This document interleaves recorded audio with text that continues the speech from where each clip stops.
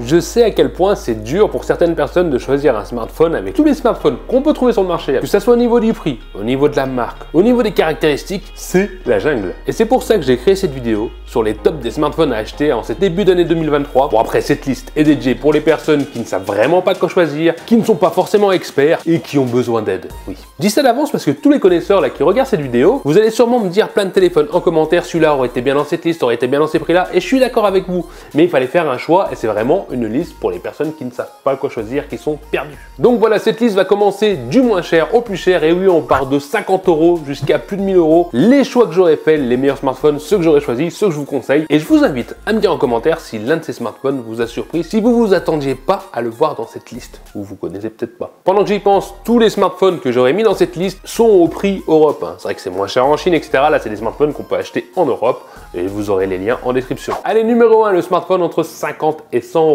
Oui, ça existe et c'est la galère. J'ai choisi le Redmi 9C. Alors c'est vraiment pas un foudre de guerre. On est sur le Helio G35, il peut monter jusqu'à un score en tutu de 110 000, donc ça, ça passe. Après la 2 Go de RAM, 5000 mAh de batterie, donc une bonne autonomie, et une caméra de 13 mégapixels.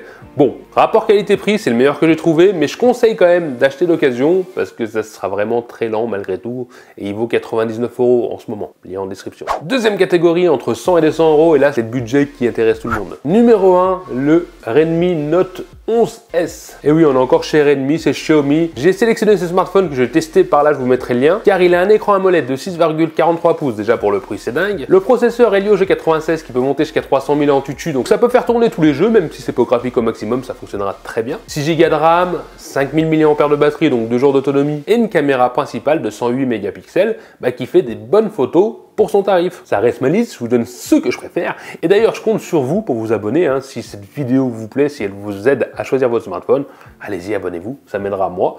Et bien sûr, n'hésitez pas à aimer aussi, c'est important. Numéro 2, et là, ça va vous surprendre. J'ai choisi le Motorola Edge 20 Lite. Et oui, Motorola entre dans la course, et oui, cette marque existe encore. D'ailleurs, ils arrivent tellement en force chaque année que je pense qu'ils vont détrôner pas mal de marques. Enfin bref, on s'en fout. Un écran AMOLED de 6,7 pouces pour ce tarif, c'est dingue. Oui, il vaut 199 euros au moment où je vous parle. Et en description. On a le processeur Dimensity 720, donc qui monte à peu près jusqu'à 260 000 au score en tutu, donc il fera tourner la plupart des jeux facilement. Donc smartphone fluide, c'est bien. 6 Go de RAM, une batterie de 5000 mAh, donc une autonomie estimée de 2 jours, une caméra principale de 108 mégapixels et l'avantage par rapport à l'autre, c'est qu'il a le 5G. Ça peut, ça peut aider. Allez, catégorie des 200 à 400 euros. Cette fois-ci, là, sans hésitation, le Pixel 6a. Bon, j'ai fait le test aussi par là. J'ai fait tous les tests presque. Un écran AMOLED de 6,1 pouces, un processeur Tensor de chez Google qui monte jusqu'à 700 000 au score en tutu. Donc c'est très bien, même s'il a pas mal de défauts. 6 Go de RAM, une batterie de 4410 mAh et une caméra principale de 12 mégapixels. Mais attention, niveau photo, à ce tarif-là, on le trouve en promotion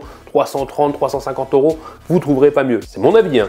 Mais photo, si vous voulez un appareil photo pas trop cher à 350 balles, le Google Pixel 6a. Après, il a des défauts, une autonomie pas terrible, il a quelques petits bugs, voilà. Mais pour la photo, the best. Après, il reste fluide, ça reste quand même l'expérience Google, donc c'est un très bon smartphone avec ses défauts malgré tout. Allez voir le test. Si toutefois vous voulez un smartphone plus équilibré qui soit bien de partout, j'ai choisi le OnePlus Nord 2. Et oui, OnePlus fait des smartphones excellents et celui-là, rapport qualité-prix, excellent. Écran AMOLED de 6,43 pouces, processeur Dimensity 1200, donc ce qui veut dire qu'on a un score en tutu qui peut monter jusqu'à 600 000, donc ça fera tourner tous les jeux à l'aise, ça sera fluide de partout, là aucun problème. 8 Go de RAM, une batterie de 4500 mAh, donc un jour et demi, voire deux, ça dépend de l'utilisation, et une caméra de 50 mégapixels, sachant qu'il y a aussi une charge rapide de 65 Donc le smartphone équilibre en tout, il fonctionnera très bien, mais c'est vrai que par rapport au Pixel 6a en photo, il sera moins performant. J'aurais aussi mis le Oppo Find X3 Neo que je trouve excellent, qui est dans ces tarifs-là, mais je ne l'ai pas mis parce que ce smartphone est sorti il y a deux ans. Et c'est vrai que j'ai privilégié de mettre des smartphones plus récents avec la dernière version d'Android, même s'il est mis à jour. Si vous aimez Oppo, le Find X3 Neo, c'est une bête, une tuerie. Il est bon de partout. Maintenant, passons de 400 à 600 euros. Et là, j'ai eu plus de mal. Autour des 470 euros, Toujours OnePlus, le OnePlus 10T. Alors ce smartphone, c'est un monstre, clairement. Il est maintenant en promotion parce que le 11 vient de sortir. On a un écran de 6,7 pouces, on a le processeur haut de gamme hein, de 2022, le 8 Gen 1, qui monte jusqu'à 1 million. Imaginez au score en tutu, alors là tous les jeux y passent, tout y passe et vous en avez pour des années de fluidité. 8 Go de RAM, une batterie 4800 mAh,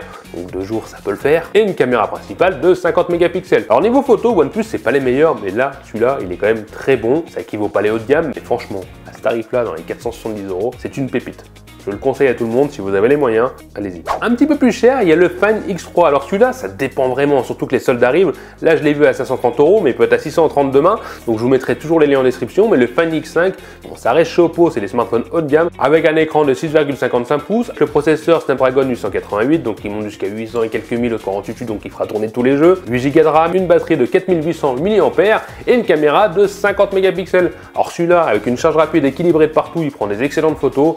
Fine X5, très bon smartphone. Pas le meilleur rapport qualité-prix, mais excellent vous ne serez pas déçu si vous l'achetez. Avant qu'on me le dise en commentaire, je sais, il y avait le Xiaomi 11T Pro qui est excellent, monstre de puissance, bonne photo, etc. Mais dans les hauts de gamme, Xiaomi, j'ai un peu plus de mal. Je trouve qu'il déconne un petit peu plus que les autres. Pour le tarif, voilà. Mais ça reste mon avis, donc Xiaomi 11T Pro, Rapport qualité-prix excellent pour ceux que ça intéresse. Passons des 600-800 euros. C'est là où j'ai le plus de mal en fait. C'était pas ceux d'avant, c'était là. Parce que 600-800 euros, c'est un peu un prix bâtard pour moi. Mais il y en a un à 741 euros au moment où je vous parle. Et en description, c'est le Motorola Edge 30 Ultra. Alors celui-là, rapport qualité-prix, c'est aussi un monstre. Écran de 6,7 pouces en Super AMOLED. Le processeur ultra performant Snapgen 8.1. Core en tutu d'à peu près 1 million. Donc les jeux, la fluidité, bon là on est loin, loin, c'est parfait. 12 Go de RAM, une batterie de 4600 mAh et une caméra, attention, de 200 mégapixels. Le truc est méga équilibré, il y a une charge rapide. C'est du Motorola, comme je vous ai dit, ça s'améliore grandement. Moi j'adore ce smartphone, j'ai pu l'avoir en main, même si j'ai pas pu faire un test sur la chaîne YouTube. Bon, j'ai eu un coup de cœur, super bien fini, écran incurvé.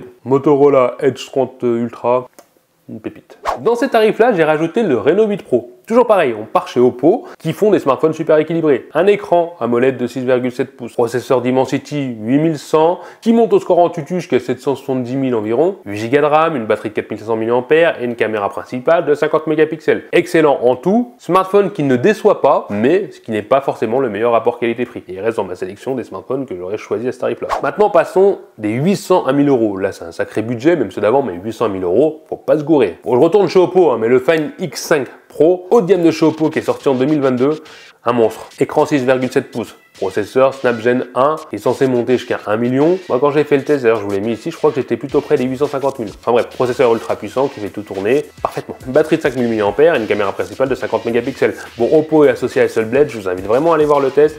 Ils font des photos magnifiques, des, des vidéos magnifiques. Le smartphone est super équilibré, mais toujours pareil, c'est pas le meilleur rapport qualité-prix. Après, celui que je conseille vraiment, pour les tarifs, surtout qu'on est en fin d'année et qu'il y a le nouveau qui va arriver, c'est le S22 Ultra. Alors moi j'ai du mal avec Samsung, surtout le S22, le S21 SE, parce qu'ils avaient une autonomie de, de merde, faut le dire, c'est vraiment pourri au niveau de l'autonomie. Mais le S22 Ultra propose une batterie de 5000 mAh. Et là, c'est différent. Parce qu'on a un écran de 6,8 pouces, on a le processeur Exynos de chez Samsung, le 2200 qui monte à peu près à 850 000 sur un tutu, donc pareil, un fluide pour les jeux, navigation, il n'y a aucun problème. Et une caméra principale de 108 mégapixels. Samsung, en photo, c'est des monstres. Le S22 Ultra, je l'ai pas testé personnellement, mais je l'ai essayé quand même. Merci à mes amis de, me le prêter de temps en temps. Oui, j'ai des connaissances qui ont un S22 Ultra. En photo, c'est une tuerie. Je conseille clairement ce portable-là entre 800 et 1000 euros. Et le dernier, le tout dernier, au-dessus des 1000 euros, parce que j'avais pas envie de faire une liste complète euh, 1200, 1300, au-dessus de 1000 euros, moi je prends directement, et j'aime pas dire ça, ça me fait mal, hein, mais l'iPhone 14 Pro. Je l'ai testé ici, hein, toujours pareil, l'Always On Display, la nouvelle bulle, Dynamic Island, etc. Moi, j'ai eu un coup de cœur pour cet iPhone 14 Pro. J'aime vraiment. Toujours pareil, au-dessus de 1000 euros. On peut difficilement trouver d'autres marques. Je conseille d'aller sur iPhone.